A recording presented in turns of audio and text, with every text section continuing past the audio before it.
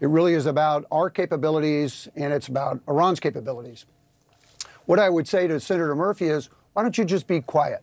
Look, the, when has Iran ever demonstrated self restraint? I mean, that's the question I have. Mm. So, is the world more dangerous today? M- maybe it's more dangerous, but when has it not been dangerous? When have we not been a target of a regime like exists in Tehran? I mean, it happens as a matter of routine.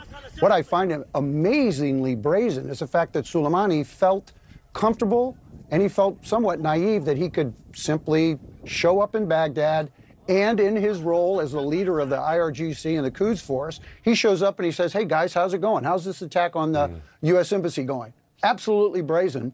And at that moment, in advance, we had built up intelligence, which was pattern of life, different forms of intelligence. Mm. And so we had this target folder on Soleimani, and this opportunity presented itself.